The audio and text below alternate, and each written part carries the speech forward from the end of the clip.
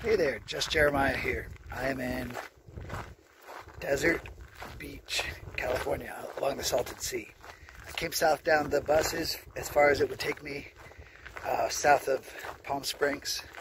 Uh, what's crazy is that public service goes all the way from Mecca, just back there, or just uh, Desert Camp, where the bus dropped me off, all the way around to San Diego.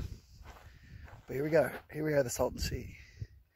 Now the Cahuilla Indians used to come and live around this lake. It was a lot higher than 300 feet deep and it wasn't salty. The Colorado River had always changed courses and uh, this last change had left less water and lots more salt. Kind of smelly. Uh, it's beautiful. It's kind of like the ocean, but smelly and dirty.